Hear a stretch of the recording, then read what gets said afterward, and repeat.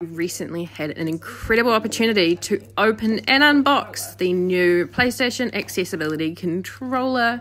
The whole process in opening it was so smooth and fun and accessible. I am in love with the PlayStation and controller open. It was time to set up the PlayStation. It's the first time we had set this up, so we followed the on screen prompts.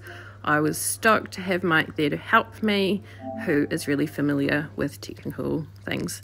Um, if you aren't able to use a standard controller, you will need someone to help you get the accessibility controller going and get the buttons in the right place. Oh my gosh, it was so much fun seeing it all come together. The controller did take some time to set up and work through. It's super handy if you have someone with you that understands the standard controller really well so you can replicate the uh, control buttons where you need them on the accessibility controller. There are a number of different profiles you can set up also, which means that you can use different buttons to play different games in the way that works for you.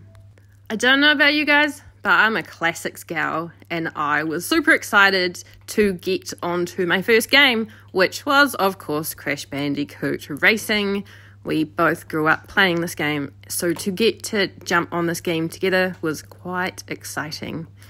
Trialing and testing the buttons, sitting in different positions, and uh, working out what works for me. It's been a while since I've gamed, and I normally watch, so to be able to be back gaming again is just the best team. It's the best. I do want to take a moment to say I truly do not think we can underestimate the impact of what having an accessible controller can do to be able to game, to be able to play with my friends and loved ones is everything.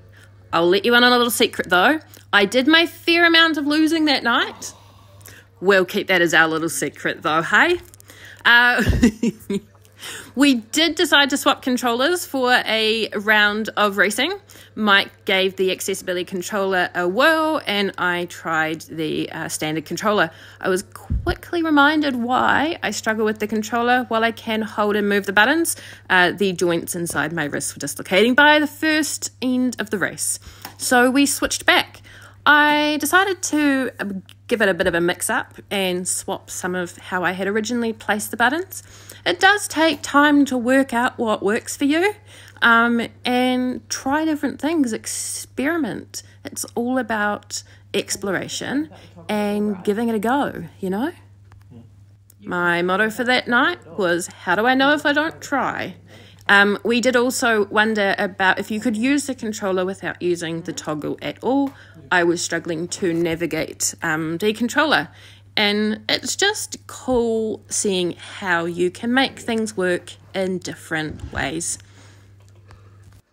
After an evening of racing, how could we finish the night off without giving the original Crash Bandicoot trilogy series um, a shot too? So we decided to take our hands and take turns at trialing the levels. We have what we had when we were younger, and um, and I found it a really interesting experience. My reactions were slower, and I certainly got a lot of fright and jumped. Oh, but what an incredible night! Oh, I cannot wait to experience and see what else this controller has in store for us, and I look forward to you joining us along in this journey. Thanks, team.